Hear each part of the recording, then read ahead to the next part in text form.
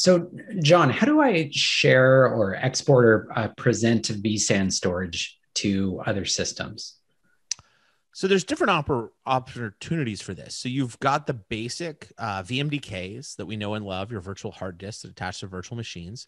You can use HCI mesh, and so you could have another, um, not a cluster even without vSAN, mount that vSAN data store remotely.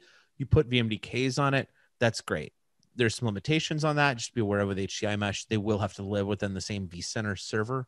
Um, but you know that's probably fine for most people also if you've got maybe some physical servers that you need to share some you want to share block storage to we have an iSCSI service and so if you've got some weird you know solaris box in the corner that everyone's scared to make eye contact with and it needs a place to put some some backups then yeah you can definitely use the iSCSI service and go export that there um thirdly we also have the vsan file services and so we can also export nfs v3 and v4 as well as smb3 um, and that can be interact uh, integrated with Kerberos for authentication, Active Directory, and so forth. So we do have the ability to do uh, file we can export, we can do block, we can do uh, block to other virtual machines or physical boxes. So we've got a different way of of ex- multiple different ways of exporting that storage. And if you want to get really fancy and do some object storage, we have our partners. You can use vSAN Direct and the Data Persistence platform and and go spin up um, some MinIO or something else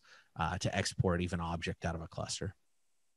All right. So there's essentially no excuses then for um, looking when when somebody may be looking at vSAN in their environment. They say, no, this isn't going to work because we need to have storage services rendered in this way. Sounds like we have a lot of different options, and all of them seem viable based off of those various situations yeah, even if you got that weird, you know, AIX box in the corner, feed it some NFS. It's it's really, you know, the the storage cases where we're not going to be able to help you on is if you've got a camcorder Pete that still uses FireWire.